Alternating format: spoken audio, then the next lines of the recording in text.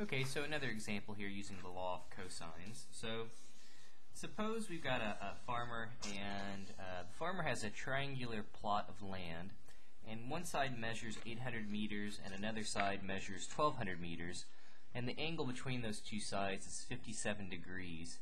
We want to know how many meters of fencing uh, that she would have to buy to completely enclose her land. So, alright, so one side has length 800 meters. We know that the other one is 1200 meters. We know that the angle between those two sides, that was given to be 57 degrees. So the first thing we're going to have to do is figure out our missing side. Again, maybe I can call that C here. And again, now we're just going to use our law of cosines formula.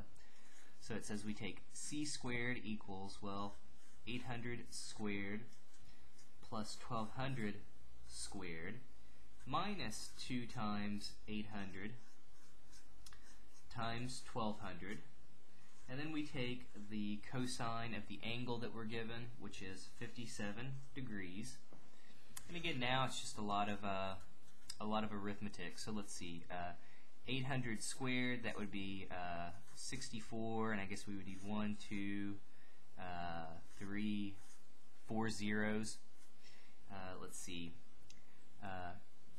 1200 uh, squared, that would be 144, but then we would need one, two, three, four zeros as well. So uh, some big numbers, but that's okay. Um, let's see, so 2 times 800, that's just going to be 1600 and if we multiply that by 1200 we'll get uh, 1920 comma 000 so 1,920,000 I'm going to take cosine of 57 degrees. Cosine of 57 degrees I'm getting that to be 0.54464 I'm going to use a little more accuracy here. Um, and now again it's just doing the arithmetic. So 640000 plus 1440000. That's uh, 2,080,000. We can take our 1920000, multiply that by 0.54464.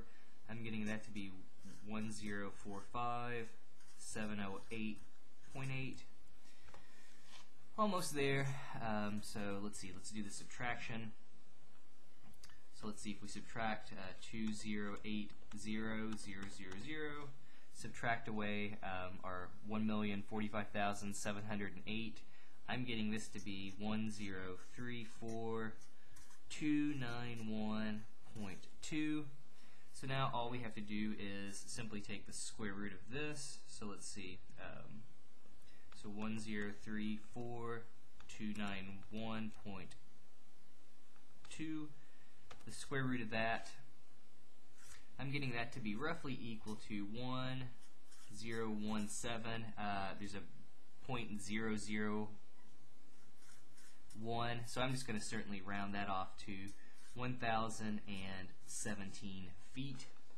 So okay, so now uh, this missing length uh, of fence, the fencing that will be required will be another 1,017, I don't know if I just said feet, 1,017 meters, I think those were our original units. So if we want to know the total amount of fencing, um, so the total amount of fencing,